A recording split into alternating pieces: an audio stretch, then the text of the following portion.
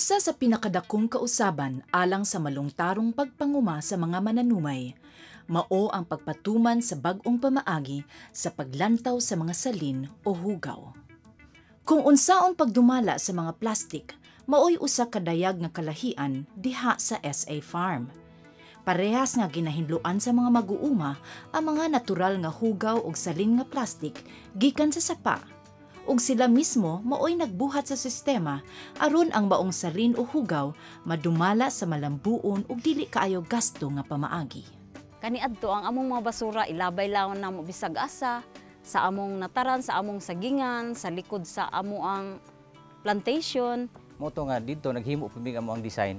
Simple lang nga MRF pero at least ang mga basura, ang mga ah, containers nga adunay gamay chemicals na habilin, mahipos gid siya unya kini ma-dispose sa tama nga pag-dispose. An ani nga ma-assort namo nga pwede pa di ay ni mahalin, pwede pa ni dili nga among malabay ba sa bas, sa bangag ba or amo pa mang ma-dispose sa mga suppliers o sa nagapalit ni anang mga materyalista nga dapat pa siyang mahimong makwarta.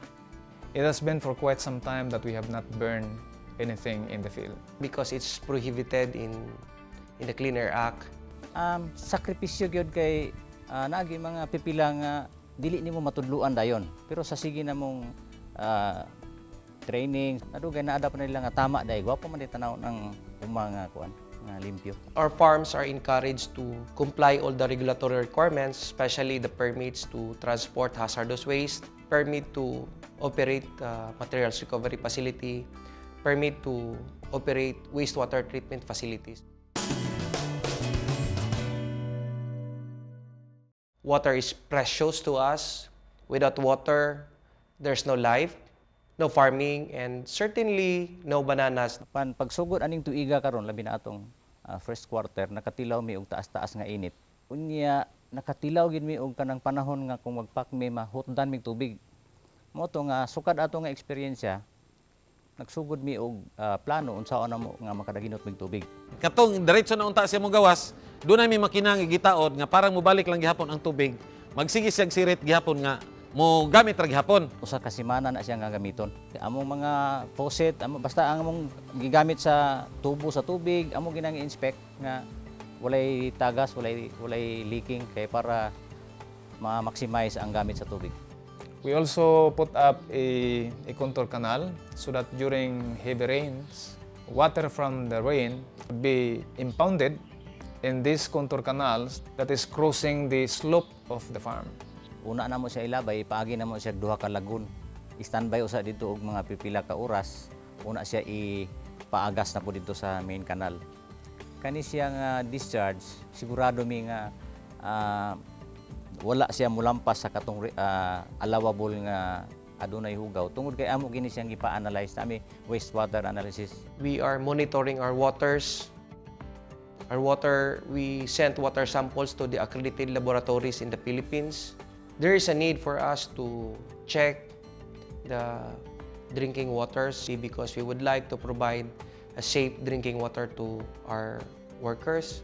And for the discharge water, we need to know the quality of the water that we are discharging to the water bodies. Integrated crop management, mo ni siya ang mura og ah, insakto nga pag-atiman sa among tanom.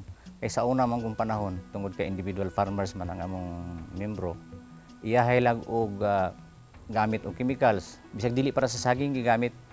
Uh, Pandiha na mo nakita sa among mga training sa Rainforest Alliance nga di ay katong chemicals nga para lang sa saging, mao lang gyud gamiton. Our farm prioritized the use of physical, mechanical, cultural, and biological control methods, and the least possible, the use of agrochemicals. And secondly, we are also trying to plant you know, vegetative barriers that will somehow improve the, the soil ecology. We only use the agreed chemicals as Approved by the research department. We now have this proper storage of chemicals according to its toxicity, and we discourage the use of chemicals belonging to category 1, and we seldom use chemicals under category 2. Right now, you could no longer see anything or anything inside of this bodega without label. And what is actually inside will be the chemical that they will be use, utilizing for that day. Ah, kani man kung atong saging inigabot sa gawas, aduna na siya itawag nato og code. expert po ba kayo na ang Japan? Naa daw sila measurement sa chemicals nga either ban ba siya nga chemicals or chemicals 10 nga mo na nagaabot nga feedback gikan sa Japan or sa laing nasod. So iban tanan kay basig sila tanan nagamit ani nga chemicals. Mao na nga dako kay nga risk diya. Ang soil management is simply ah, pag-atiman sa yuta nga atong gipangay nabuyan. Isa una mo ang practice sa mga farmers diri sa mua. Kutob sa unsay mahimo sa yuta, mutubo sa yuta itanom. Daruhon ang yuta, una tamnan, limpyuhan, iniglimpisa, wag sagbot. Nakita naman sa mga farmers nga ang katong topsoil hinahinay og kawala. Apan tungod aning training sa Rainforest Alliance, nakita na mo nga di ay dapat atimanon ang yuta para ang pagtanom hangtod sa hangtod sustainable ang iyang paggamit. So what we are going to do is do the mulching of, uh, procedure so that we can reduce the usage of chemical fertilizer. So we are now improving our facility so that we can improve compost fortified with microorganisms. Namin protection nga gipantamnan na mo og mga kahoy sa kilid-kilid sa mga sapa para mo protekta nga mapugnan ang ilahang katong sa gamot ang mga yuta nga dili mairod. Kay kung panalitan na erosyon nga mahimo, ang katong mga yuta nga gwapo madala na paingon sa dagat. Dahil ang mabili na lang kato ng maot nga klase nga yuta. Ang among yuta among ginatamnan og kanang mani-mani as ah, cover crops gitamnan na mga mahugani ang kanang mga utlanan sa among yuta boundaries